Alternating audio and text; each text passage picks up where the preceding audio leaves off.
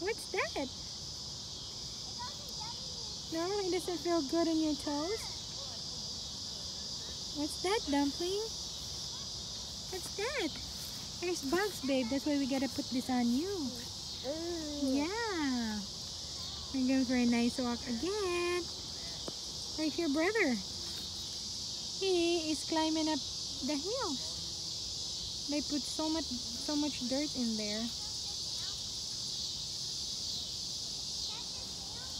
Yeah. Dumpling. And then your toes. what do you think? No, you don't like it? Are you kicking it away from you?